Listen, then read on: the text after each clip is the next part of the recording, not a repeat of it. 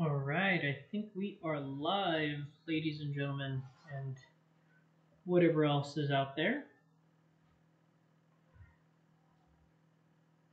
So, let's begin. So, just a quick recap if you watched the other video, uh, this is basically part of a Docker's beginner guide. Um, this is episode two, so to speak, uh, to set up MySQL slash MariaDB. Um, and essentially, this is just a as the name says, a beginner's guide to get through uh, doing basic things um, and setting up basic environments to do development. So let's just quickly just jump into this, shall we? So now that I see we're streaming as intended, so you you might be saying, well, Lance, there's several ways you could do this. Well, that's true. Anything with Docker, right? Um, you could run from a config like we did in the other video, but also you could run from a terminal right? So my thought was maybe we should talk about how do we do this with the terminal um, and just running this like through CLI rather than creating a config file, which you will learn real quick these things called variables. If you don't know what that is, you're going to find out real quickly. And if you've ever done any kind of Linux uh, uh, work, you should know that in the CLI, sometimes you could run or pass variables, if you will. And so that's essentially what we're going to try and do here, right? So let's go ahead and get into our Visual Studio Code here. Let's start a new terminal as you see here. And let's go into our projects folder where we were working last time. Let's go into the Docker course, right, and cd lamp stack, right? So now we have this. So let's go ahead, the directory, and call it, um, what shall we call this? Uh,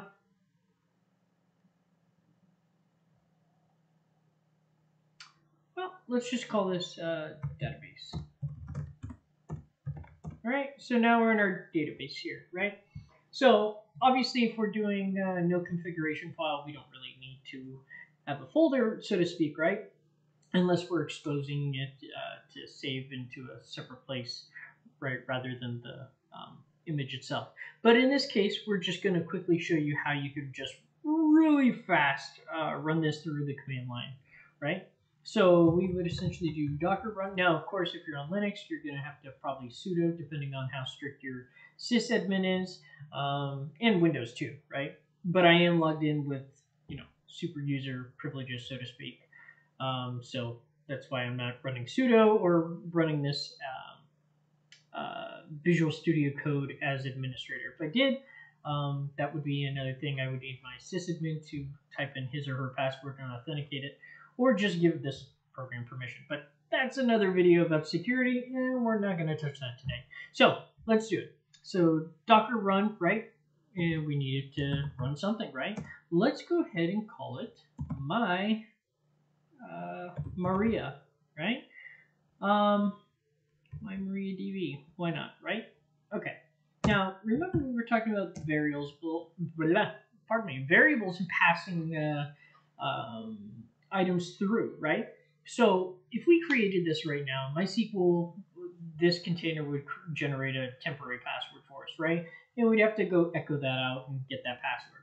Or we could use one of the variables that are available to us, which is MySQL root password right? Like so. And now we just tell it what is our password that we want to put here. Let's just put, and again, I hope none of you do this, but let's just put password uh, 2021, right? Because that's where we're at, 2021.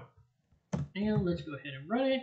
And now we choose our version of MariaDB. We could put in uh, X point X, or let's just run the latest, right? Let's just get the latest. So we've had it, right? So we can type Docker images, right? We see that we have it, right? And you here you can see the tag for it, um, the image ID, when it was created, the size of the sucker, and the um, repository for that, right? So technically right now it's running, right? And you might be saying, well, mm, how do you know? What can we see? Well, you might want to go to, um, let's say, bash for it, right? So we could just run quickly docker exec. Um, and I believe we called it my MariaDB, if I'm not mistaken. Oops, and bash. All right, so there we are, right? And as you see, we're loaded here with our um, Docker image. It's there. We're in it. That's it. Hello. Uh, we've done it. Let's go home. So now you've just run it through um, basically uh, CLI, right? So let's go ahead and get out of that for a second. But you know, in the future, you may want to go and see the logs, right? So logs, and then my MariaDB, right? And then here you can see the log to everything, right? So let's clear that out. Now, you might be saying, well, Lance, I want to go back to doing the config file because I'm going to run a Kubernetes thing, blah, blah, blah, blah, blah. Or maybe you just want to do this and run multiple MySQL MariaDB databases and just have the one file and this way you know all is well right? You want the same password you want you know same username who knows? Um, so what we would do now is just essentially go and um, create our docker file essentially like what we did before our yaml file. So in this case we'll just do code and then let's just call it stack. Uh, should we do stack yeah well because we're eventually going to run everything, right? So we'll just do code stack and Visual Studio Code creates the file right here, so we don't have to go anywhere. And if you remember last time we were talking about versions, right? I believe we last did version 3.7, but we could even go as far as 3.1, which isn't really that far, but let's just show you that it still can work. And be careful of quotes and making sure that you spell things correctly. Um, I have been known to accidentally not do that right and then get some weird errors, right? So, and spacing is important, right? So, let's go ahead and just have this labeled DB for database, right? And let's go ahead and get the image. And in this case, we're going to have it MariaDB. We just want the latest. Otherwise, we do this and then put in the version we want. But in this case, I just want the latest MariaDB, right? And another thing you should think about is uh, restart. You could have it on failure, whatever, but I will always put always, right? Um, and then the environment. This is um, important um, because this is where we are, are going to run that uh, variable we talked about, right? So think of this as the place to put these variables that are available to us. So in our case, we'll do MySQL uh, root password as so, and let's just call it um, password uh, 2021, right? So that is the start, right? Now that's great, we have it running, but wouldn't it be great if we could um, perhaps go in here and see something, right? Be able to access it. How do we know what's there? Yeah, you could use MySQL Workbench and a couple other things uh, you could do essentially, but just really quickly, there's a really cool project called Adminer, very similar to um, PHP MyAdmin, which you could essentially do here too, right? But um, in this case, let's just do the latest version of Adminer, like so, right? And then we're gonna do uh, restart, just like above, always, right? And here we can name the port that we wanted to use, right? Now, these ports, mind you, is not to do with MariaDB. This is strictly adminer. Why? Because this is underneath um, that image, essentially, this uh, environment, so to speak. Um, so tech, and then we're going to do, I think I don't have anything running on 8080 to 8080. Oops. Right, as so. And uh, that should be good. We save that there. Now, there's several ways we can do this, right? We know this. And the thing is, you could do docker stack deploy tac uh, c and then the file and then MariaDB, or you could do docker compose. That's popular too, right? Docker dash compose f my uh, f uh, stack uh, YAML up, right? So let's just do what you probably will see out in the wild anyways, just to not confuse anyone. Uh, so let's do docker compose and then tack f and then stack, I believe we called it. Yeah, stack and then up. Oh, what did it not like? Unsupported config option for services.db. What did I type wrong?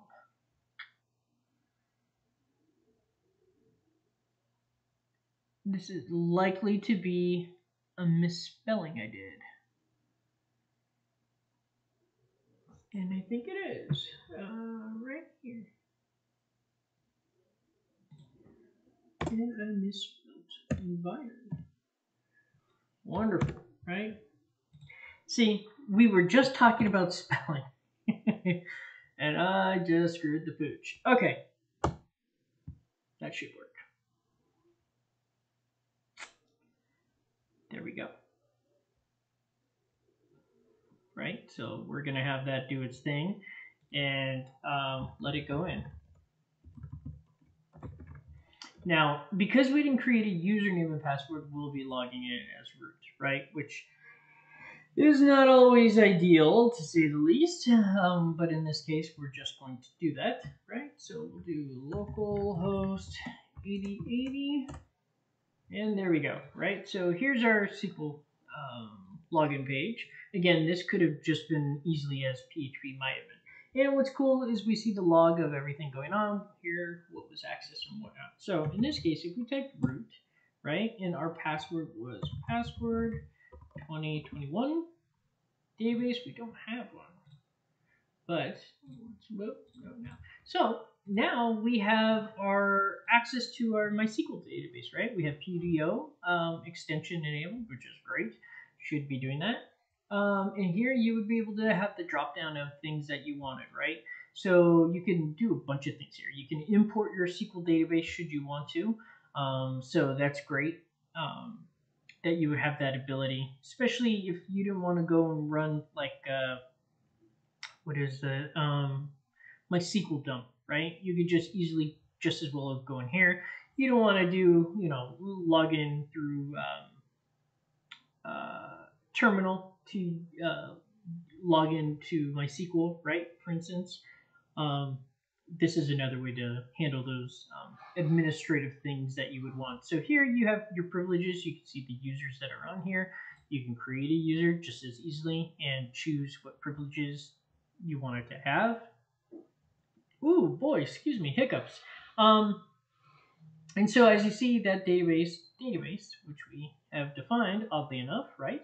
um, you have the option here to do whatever it is that you want. You can see the process list of what's going on, right? And of course, the variables um, that you have access to here, um, and the status, right? You can see the status of everything that's going on here. Quite a bit you can do here um, and see. But um, yeah, that's essentially it, um, guys. That was pretty simple, right? And look, you can easily go back to that. How cool is that? Can't do that with the PHP MyAdmin. Now, this isn't as powerful as PHP MyAdmin, right? This is something completely um, uh, weaker. But, I mean, if you just need something lightweight, I mean, this is it, right? You have a lot of capabilities here, to be honest. So if you're a higher um, SQL um, coder, this might be great for you, right? And that's probably the wrong words to use. Um, SQL coder, but essentially, I mean, that's what you would be, right? A SQL database um, administrator.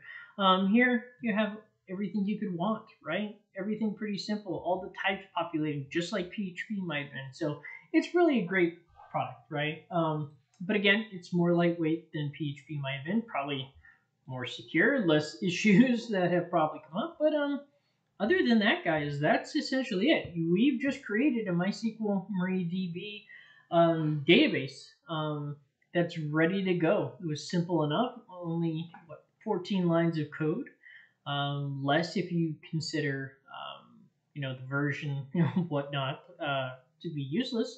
Um, we could even have done this really in less code, right? Uh, essentially six. But that said, simple nonetheless. And we've learned wow, we've learned now um, how to essentially get access to the bash um, terminal on the Docker image itself. We learned how we could run this without having a config file, which is what we've been doing, writing configs. And eventually, as you kind of see right now with this config file, we will be able to put all of our things in here. If it's starting to click now with our LAMP stack, you're going to eventually see here our PHP MyAdmin, our or adminer, um, MySQL, MariaDB, um, PHP, right? Because PHP already has the Apache um, 2.0 on there, so we don't have to go and do that in addition to that, right? Which is great, which is why I like that PHP um, Docker image. And there's a lot of configurations we can do there and variables as well. Um, and again, same with MariaDB, right? We would not only put the MySQL root password, but we could also create a user and uh, password in database. Um, and we'll eventually get into that. That'll be still beginner course, but not in this uh, lamp stack setup.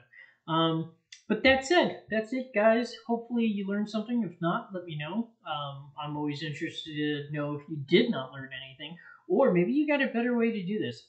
I am interested. Tell me how to do better, and hopefully we can all learn how to do better, right? Um, yeah, I'm not insulted, right? I, I'm no expert, right? I don't maintain or create Docker.